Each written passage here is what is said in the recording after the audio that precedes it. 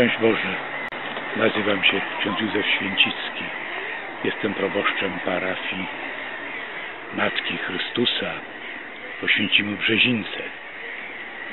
Jedynie asfaltowa droga oddziela nas od granic obozu. I chciałem pan doktora namówić, żeby tych kilka słów nagrał na tle naszego nowego fresku, który jest na centralnej ścianie, jest tłem ołtarza głównego.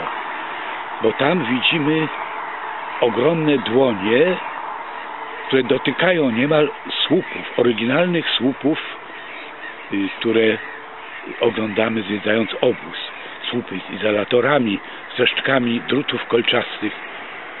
To są dłonie opatrzności, dłonie Boga Ojca.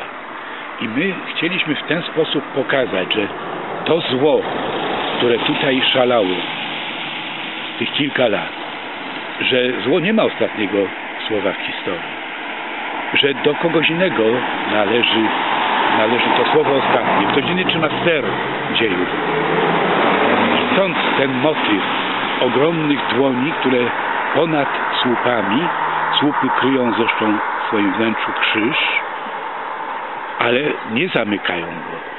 Krzyż wyłania się ponad te słupy.